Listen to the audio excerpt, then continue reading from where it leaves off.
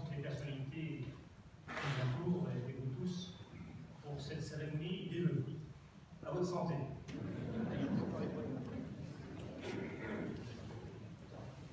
Je remercie Bernard François, le premier adjoint, en charge des salines royales, des associations, ainsi que la partie événementielle de la commune, pour sa fidélité, son engagement, son humour, et ses bons voeux adressés à mon épouse et à moi-même, et, à mon tour, donc je lui adresse les vœux les plus sincères à lui et à Odile, son épouse, que je remercie de, nous prêter pendant de longs moments. Comme je dis à Bernard, euh, il va moins sa femme, mais les moments sont plus intenses. Donc voilà, ça, ça compense. C'est ce que je dis à mon épouse aussi. Bon, je ne suis pas toujours persuadé de la réputation, mais je que merci, merci au conjoint, Je suis, très heureux de, travailler avec une équipe municipale volontaire, une équipe efficace.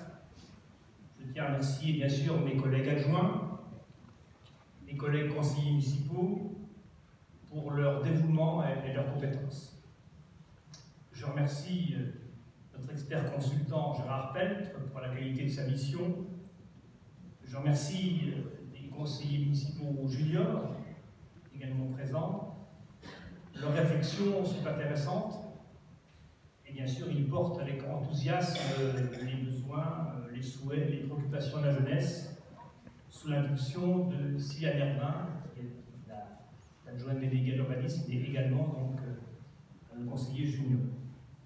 J'exprime toute ma reconnaissance au service de l'État, sous l'autorité de Mme Scopette, que je remercie particulièrement. Nous avons la chance d'avoir une sous-préfète qui est très réactive et le soutien est permanent.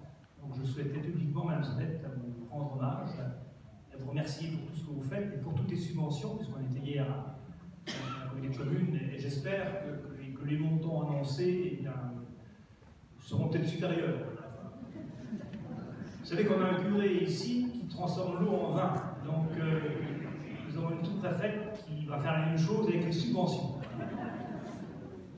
Pas au détriment de mes collègues, hein, que, ce soit pareil pour mes collègues, mais vous savez qu'on on a tous défendu nos projets avec, avec bien sûr beaucoup d'enthousiasme et, vous savez que si on veut que le Saulnois soit riche, soit beau, si on veut que les communes soient heureuses, il faut que tous les projets puissent être réalisés. Donc je compte sur vous,